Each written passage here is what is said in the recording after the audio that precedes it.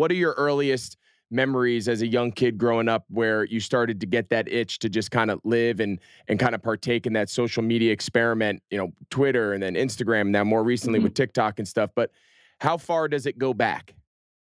Man, so I was watching, it's crazy. I was watching YouTube skips like in fifth grade when it was kind of like, I don't even know if people was getting paid on it then, but uh, I was watching YouTube skips way back then and uh, just watching random stuff up there.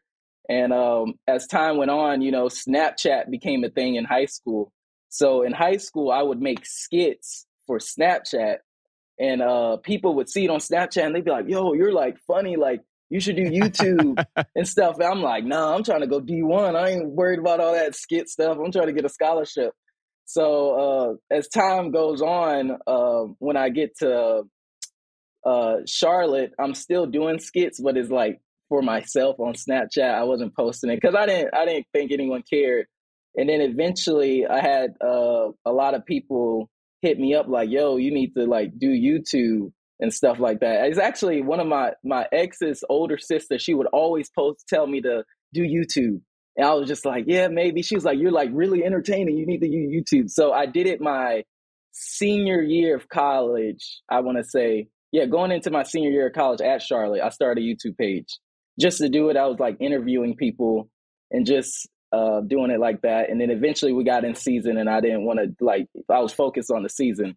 But then the pandemic hit, and that's where everything changed because I was bored. I was in the house. I just got uh, technically laid off my job because I was working at the gym, and then nothing was open. So I came back home to Jacksonville, North Carolina. Was chilling.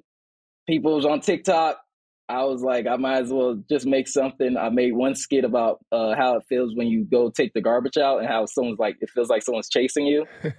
and then that thing blew up like crazy. And my boy Ben DeLuca that played with me at Charlotte, he was just like, yo, just keep going. And I was like, I ain't, I mean, I'm bored, so I might as well. And things just took off and I'm yeah. having an interview with you now. yeah, here we go. Yeah.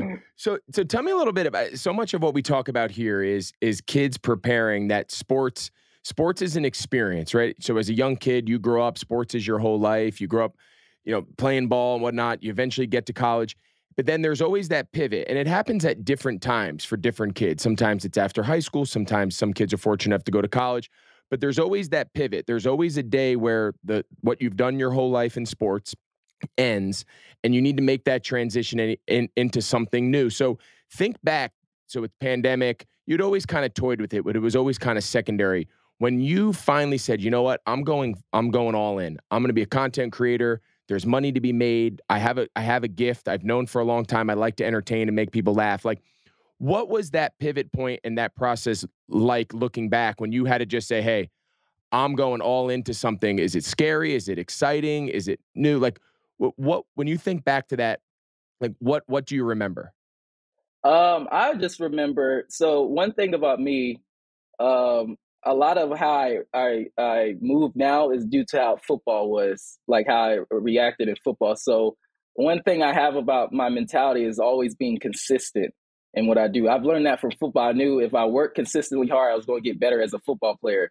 So now I'm in a place where I'm gifted with something and now if I continue to give like consistently work at it, I'm just going to get better at it. So when I posted that first video and it went viral, I was just like, well, I mean, this is fun. I didn't I didn't know anything about no money involved in it. I just thought it was funny. I was making people laugh. So I was like, okay, I'm gonna just do this. So automatically, since from football, I was consistently making videos every single day. Like every day. Like it, it wasn't like a chore. No, it was just fun to me. So once I started doing that, I was like, yo, I'm about to just keep doing this. But then someone hit me up. It was like, hey, do you want to do this ad for $80? I was like, $80? That's a lot of money for an ad.